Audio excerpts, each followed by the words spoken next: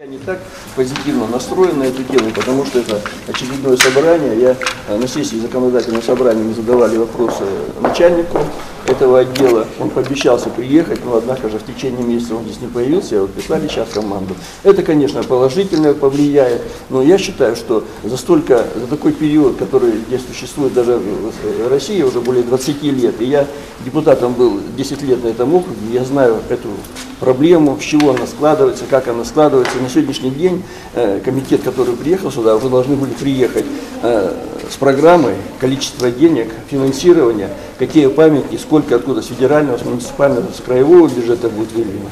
Ну, по-моему, сейчас на сегодняшний день я считаю, что они еще не готовы, и только вот это сегодняшнее пленарное собрание будет э, для того, чтобы нам определить финансирование. Без финансирования ничего мы не сделаем, абсолютно ничего не сделаем. Ко мне приходил не один десяток жителей, которые сегодня живут в этих помещениях э, культурного наследия, у которых нет ни денег, ни средств.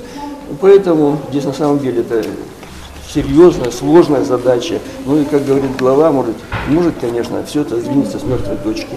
Я со своей стороны за собрание буду руками и ногами пробивать эту тему, не останавливать. Я такой человек, что я не постесняюсь задать и неудобный вопрос.